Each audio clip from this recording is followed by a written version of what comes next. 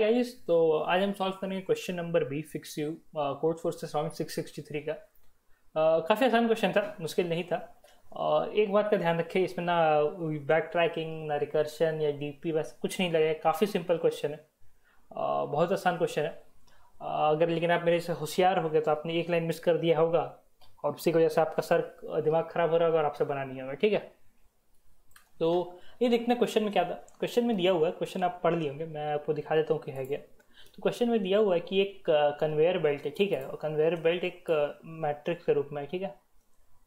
ये ऐसा है कुछ है। और यहाँ यहाँ हर सब, सारा एक ब्लॉक है।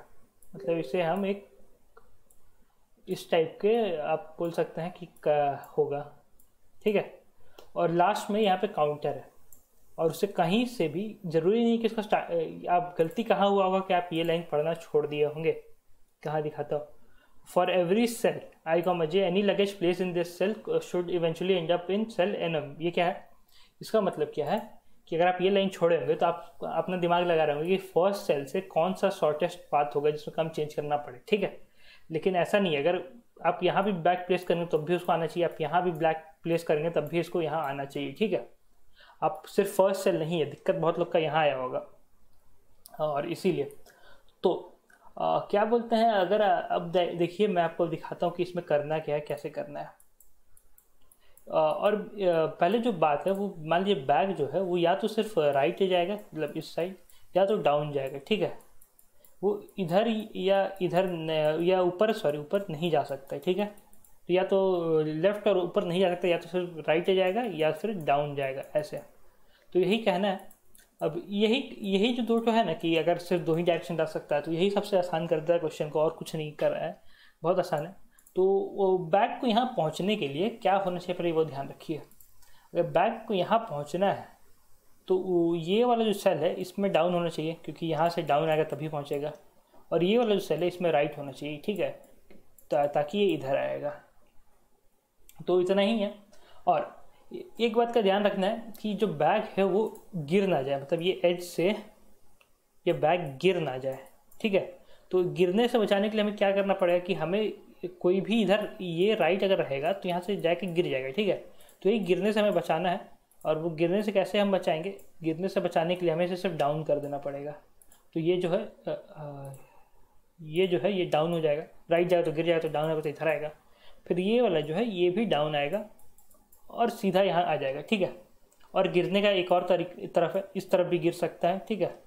इधर तो गिरेगा नहीं क्योंकि इधर के लिए लेफ़्ट आना पड़ेगा, जो कि पॉसिबल नहीं है, उधर भी नहीं गिरा क्योंकि इधर के लिए अप आना पड़ेगा, जो कि पॉसिबल नहीं है। तो इधर बचाने के लिए हमें क्या करना होगा कि अगर हम यहाँ डाउन लिखेंगे तो एक गिर के लॉस्ट हो जाएगा, जो कि करना नहीं है।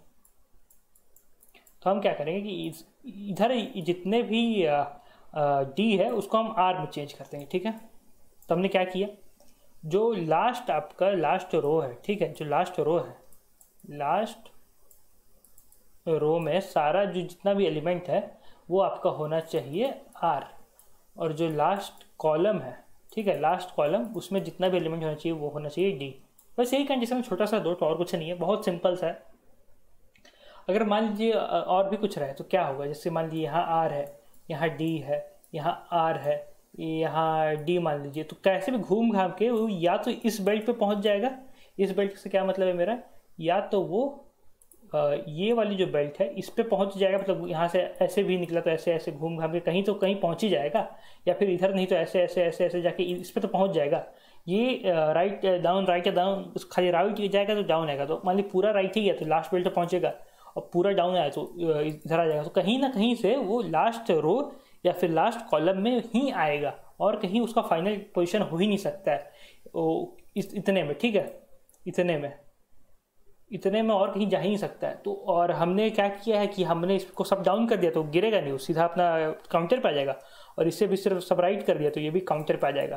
तो ये जो बॉक्स है तो इसका कहने का क्या मतलब है? ये जो बॉक्स है बॉक्स हुआ ये बॉक्स अपने कहीं भी जाए वो या तो इस पे एंड होगा या तो इस पर एंड होगा। बस इतना है, और कुछ कहने का मतलब नहीं है। और लास्ट का जो दो रो और कॉलम है, उसे हमने संभाल लिया है, वो हम देख लिए हैं, बाकी तुम देख लो। तो हमें सबसे मिनिमम नंबर ऑफ़ स्टेप कितना होगा? जितना भी यहाँ पे डी था उसको आर करना हो, जितना भी यहाँ पे आर था उसको डी करना। बस यही सिंपल सा था। तो आइए मैं आपको इसका कोड दिखा देता हूँ कोड में क्या तो कोड देखिए यहाँ क्या दिया है। ये सब तो इनपुट इनपुट नॉर्मल है। यहाँ हमने वो उस जो टू डी आ रहे हैं उसमें इनपुट ले लिया और कुछ नहीं किया है। अब यहाँ देखिए for int I is equal to one I less than N minus one और आई प्लस प्लस ठीक है? अब देखिए अब यहाँ क्या दिया है? If if stair of I और ये M is not equal to D ये क्या है? Counting D in last row ठीक है? अगर लास्ट रो में डी uh, नहीं है कोई ब्लॉक में तो उस ब्लॉक को चेंज करना होगा और हमें क्या करेंगे? हम काउंटर को प्लस प्लस कर देंगे, ठीक है? वे ये नंबर ऑफ़ डी को जो डी, आर से डी चेंज करे, उसके लिए है। अब यहाँ हम क्या करें? Counting R in the last row, अगर ये आर नहीं है तो हमें उसको आर करना है। रो में, लास्ट रो में अगर आर नहीं है तो उसे आर करना था, यहाँ हमने पहले देखा। उसी को वाई प्लस प्लस कर दे रहे हैं। ये total number of R change हो गया और यहाँ पे सिर्फ़ सी आउट कर दे रहे हैं। और एक्स प्लस वाई बस सिंपल सा कुछ नहीं था। और इतना ही था। आपको लिंक मिल जाएगा इसका जो सबमिशन उसका लिंक डिस्क्रिप्शन में मिल जाएगा। तो वीडियो अच्छा लगा तो लाइक कर दिएगा सब्सक्राइब कर दिएगा। तो तब तक अपना ध्यान रखें सेफ़ रहे और बाय बाय